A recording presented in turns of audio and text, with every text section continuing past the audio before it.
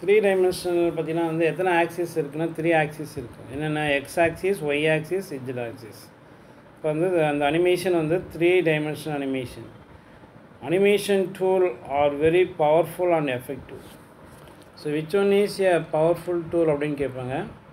So which one is a powerful tool animation tool is a very powerful and effective tool animation tool அப்படிங்கிறது very பவர்ஃபுல்லான ஒரு tool the two basic types of animations what are the uh, uh, types of animations path animation and frame animation what are the types of animation how many types of animation there are two types of animation one is called uh, path animation another one frame animation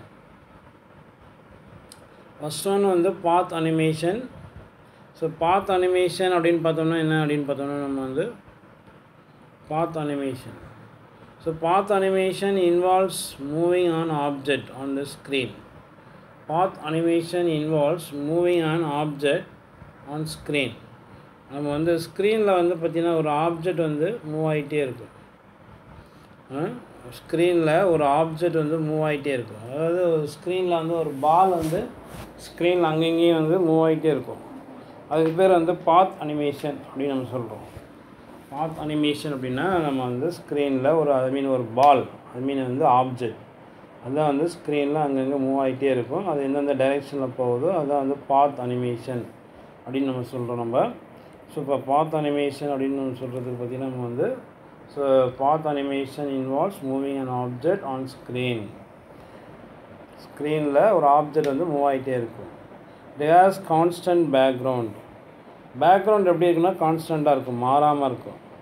example பார்த்தீங்கன்னா cartoon character may move across a screen regardless of any changes in the background or characters any changes in the background or characters இது ஒன்று நம்ம வந்து changes பண்ணிக்கலாம்.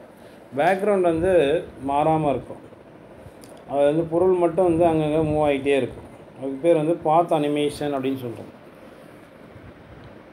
So okay அடுத்தது வந்து frame animation in frame animation frame animation அப்படின்னு பார்த்தீங்கன்னா நம்ம வந்து மல்டிபிள் ஆப்ஜெக்ட்ஸ் இருக்கும் ஒரே ஒரு ஆப்ஜெக்ட் தான் அங்கங்கே மூவ் ஆகிட்டு இருக்கும். பாத் அனிமேஷனில் இதே வந்து ஃப்ரேம் அனிமேஷன் பார்த்தோன்னா multiple objects are allowed to travel simultaneously multiple objects இருக்கும் ஒரே டைமில் அட் அ டைமில் மூவ் ஆகிட்டே இருக்கும்.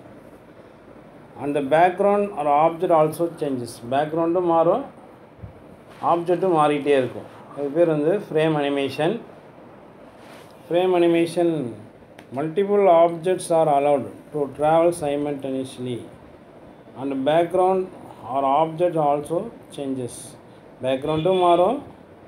என்னது? ஆப்ஜெக்ட்டும் மாறும்.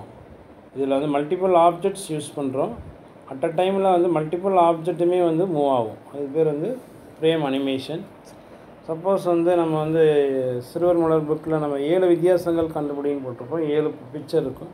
ஏழு பிக்சருமே அட் அ டைமில் வந்து அப்படியே டான்ஸ் ஆடுற மாதிரி இருக்கும். ஆனால் வந்து ஒரு பிக்சருக்கும் இன்னொரு பிக்சருக்கும் வந்து பார்த்திங்கன்னா நம்ம வந்து சேஞ்சஸ் இருக்கும். எல்லாமே ஒரே மாதிரி டைரெக்ஷன் டான்ஸ் ஆடாது.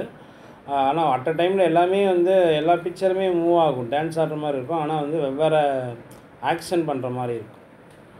ஸோ அதுதான் நம்ம வந்து ஃப்ரேம் அனி